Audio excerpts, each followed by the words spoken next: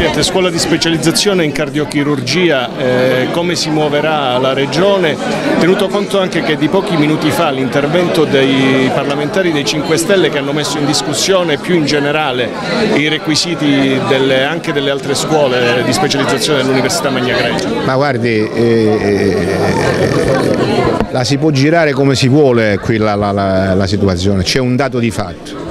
la Regione sta investendo con proprie risorse in direzione delle eh, specializzazioni e in modo particolare per quanto riguarda eh, la cardiochirurgia, proprio d'accordo con eh, l'Università di Catanzaro, abbiamo definito un programma che purtroppo ai noi, ai noi ha eh, avuto in, questo, eh, in questa fase una strozzatura da parte del governo nazionale, perché il MIUR che ha sempre dire,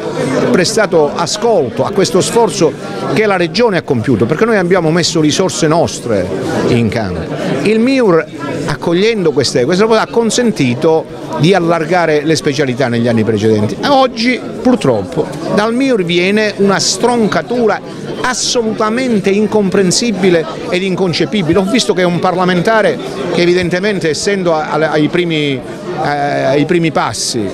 eh, non sa come eh, approfondire e leggere, mi permetto di dire, lo dico con dispiacere, senza nessun piglio di arroganza. Eh, mi permetto di suggerirgli di approfondire prima di perché un parlamentare che esprime eh, una funzione di rappresentanza e che esprime ad un livello dire, eh, elevato quella che deve essere una funzione legislativa, prima di eh, mettere in libera uscita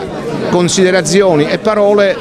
dovrebbe riflettere. Ho visto come la dice ma è colpa di Oliverio, che, che c'entra Oliverio con, o, o, del, o del rettore,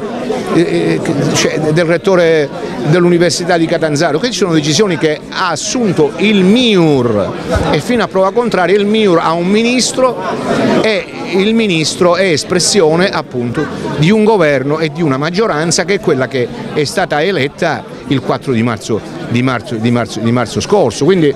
cioè io mi permetto di richiamare ad uh, una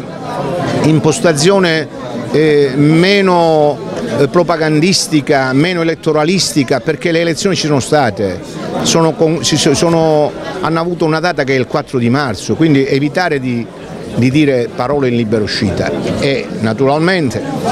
mi appello ai parlamentari calabresi, a tutti i parlamentari calabresi perché facciano prevalere gli interessi della Calabria sugli interessi di bottega o di appartenenza. In questo caso è evidente che gli interessi della Calabria sono stati sfregiati in modo appunto inusitato e in modo ingiustificato.